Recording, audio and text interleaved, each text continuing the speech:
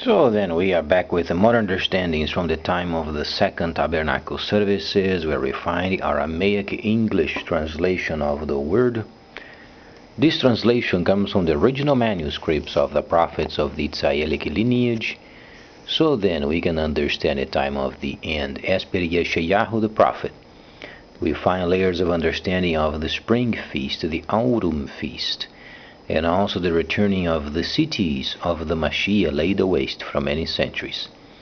As we read it in Yeshayahu the prophet, let's then make an analysis first if we believe truly that the divine never changes and whatsoever holy words he spoke obviously remains intact. So then if we understand this principle, then we can continue with the holy instructions because then they bear truth themselves. But let's then, firstly, analyze what's going on as far as the layers of trade. As we understand, Daniel, he was obviously a prophet, but truly he was not a prophet related mostly with tabernacling. He was a prophet sent in order to explain the kingdoms of the Gentiles until the time of the end. So then, understandably, the whole instructions given, Daniel was aware of it because 70 years after the captivity of the nation, then Daniel himself had mentioned and he saw that these holy instructions then were obviously coming to its completion. And then he verified in the words of Yirmiyahu, that the prophecy was ending the 70 years of captivity. So then, obviously, reading from the Holy Instructions, there is a layer precisely related with Gentiles. The Gentiles you can read in Daniel, and you can understand in Daniel 11 the reflected prophecies of the previous set of prophecies. So then, at the midpoint from a thousand years of the Mashiach versus a thousand years of Nahashatan, you find then exactly in the center from a thousand and a thousand, then you begin to make a reference of then the trade. How was back then, how is today. And also the 23rd chapter of Yeshayahu, you find then the restoration of the trade as it was taught by Abraham.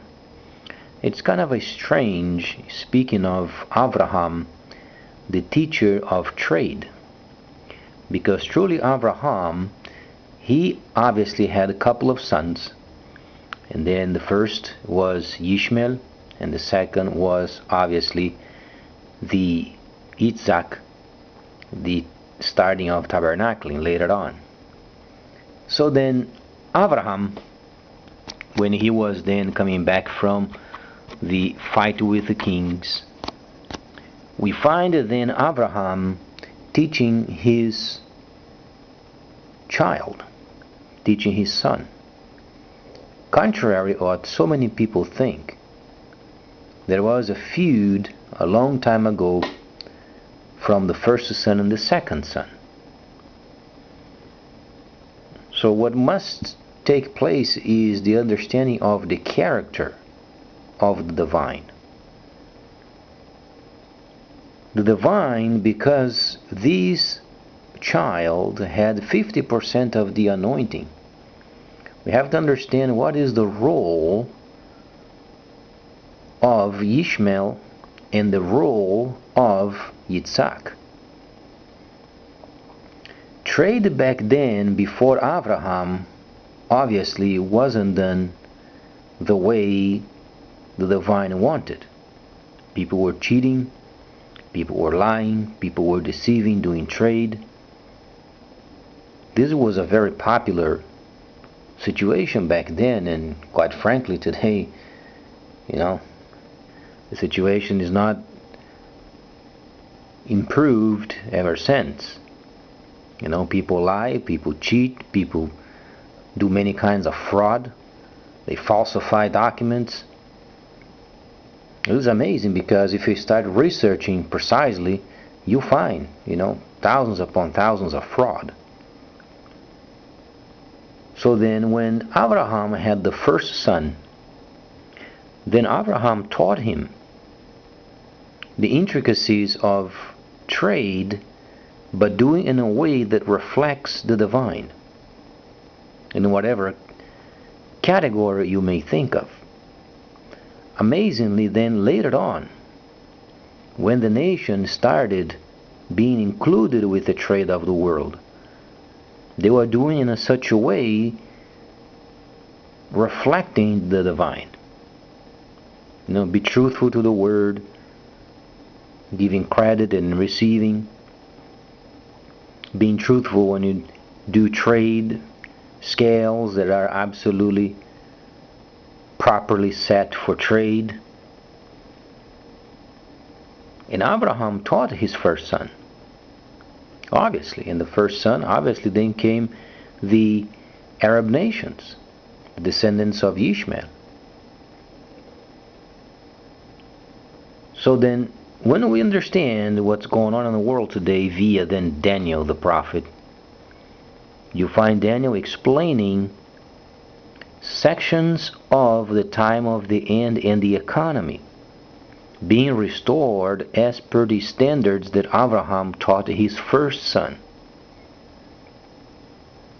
Now, since these teachings are not tabernacle related, you don't find a lot of it. So the situation of the first son, and then the tent of Abraham, and then Sarah, and then Hagar fighting against each other, and there was no reason for it. Similarly, the situation, for instance, when you find then the wife of Lot turning into a column of salt.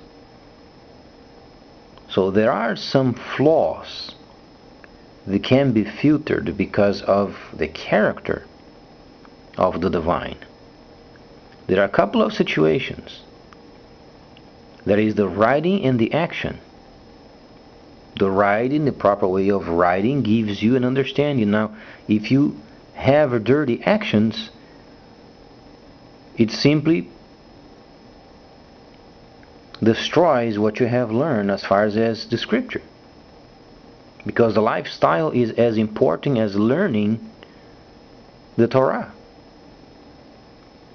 Now, if you learn the Torah and your lifestyle is dirty, then you won't be able to teach other people.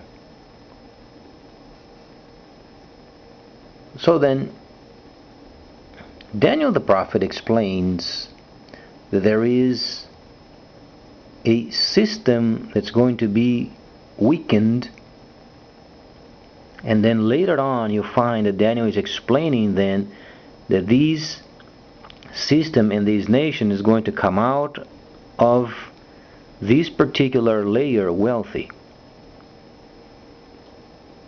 So then, speaking of trade, and not speaking of tabernacling, there is a portion that Daniel explains that the kingdom of the south and explains also, and that's obvious.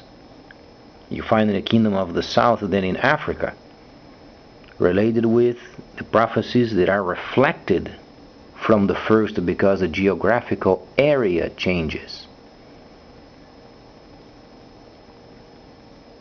You find, for instance, Gog, Magog, you find those places that already have taken place, some of those conflicts, but then you have to reflect these for the time of the end. So in fact, what you are reading has taken place twice. One of them already taking place and then they're reflected in the future. That's why then you read the kingdom of the east that already has taken place when you read Daniel and then explains the autumn feast when the situation is already taking place, but then you understand the future, then the kingdom of the east coming and then marching up in the river Euphrates. So the understanding obviously has taken place and then takes place again in the future. So each prophecy related with Yom Kippur or then the autumn feast has a reflection previously when you read the prophets. So then this system that was then weakened and it's going to recuperate is related with the trade in the southern kingdom. Has nothing to do with Yehuda because the content of the understanding is and then the violent ones beyond the rivers of Ethiopia. This truly is the focus. Now, if you read the prophecy, the layer related with it, and you find Yehuda up north, then you don't understand geography. Because they are not talking about the prophecy that already had taken place, but Yom Kippur during the time of the restoration and then the time of the end.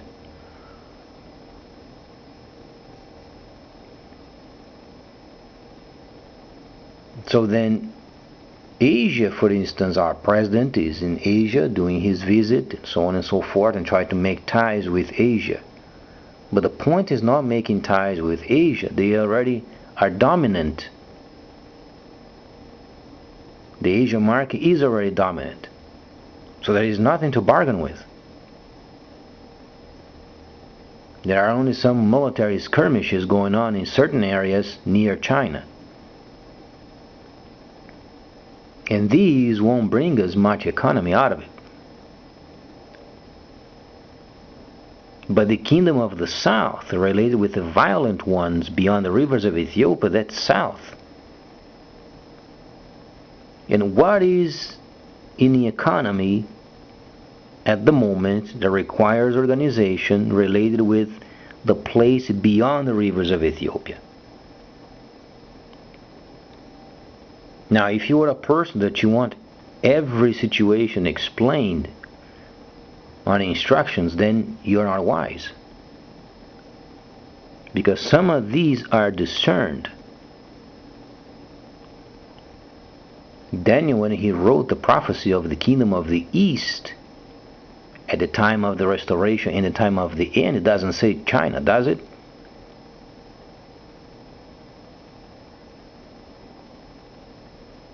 But it does explain the kingdom of the East, the most prominent, powerful nation of the kingdom of the East, then coming from the East.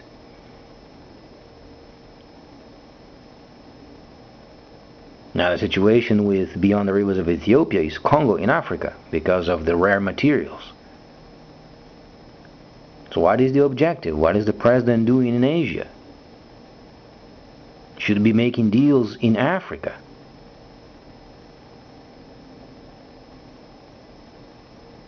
He's going to Asia to try to make ties with the economy that won't improve because Asia already dominates the market. And we can produce. Our labor, our factories are very expensive.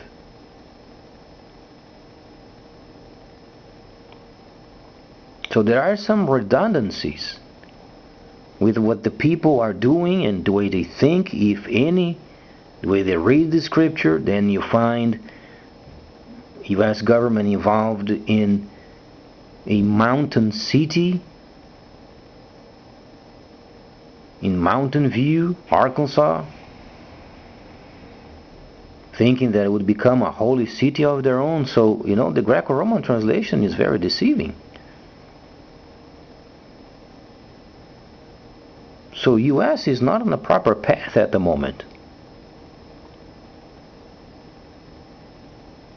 What should be taking place is then making deals with the nations of Africa, principally starting in Congo, organizing Congo, and organizing the mines and using our money as a means of international exchange.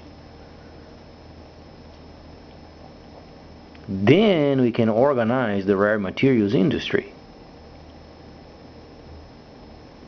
After these is taken care of, then we can make a deal with Asia. Now the president goes there, the economy is ruined, you are barely producing, and try to strengthen the ties of, in what sense? It's not economical for sure. Then wasting time with the military skirmishes at sea or in the air. These won't help our economy to produce.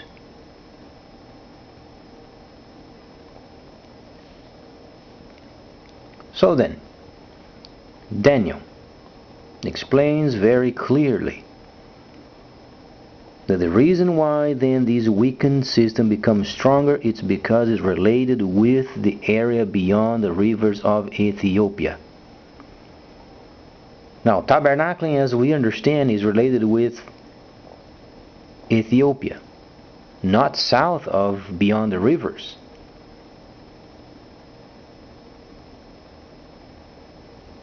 So the understanding is organizing Congo, organizing the area south of it.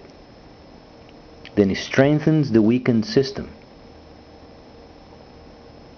Afterwards, then they can level the situation, but not until. So what U.S. is doing in Asia at the moment, bears absolutely no influence.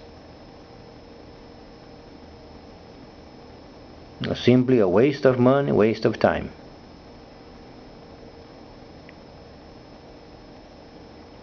Ezekiel, however, speaks of tabernacling. It's another layer that we can talk next time.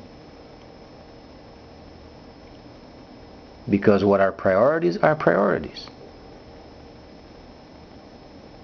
Now, if you do a bit of a research, you'll find in these Mountain View, Arkansas, it's got a mountain there with 12 gates. So not sure what U.S. had in mind uh, many years ago, but they thought they were building a holy city of their own.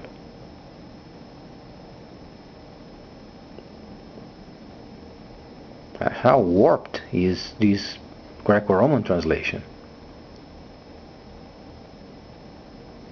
So then, as far as Daniel, later there are many links related then with Galah or Revelation, and then leading towards the Yom Kippur, or then the time of the autumn feast. So please stay tuned, much more coming up.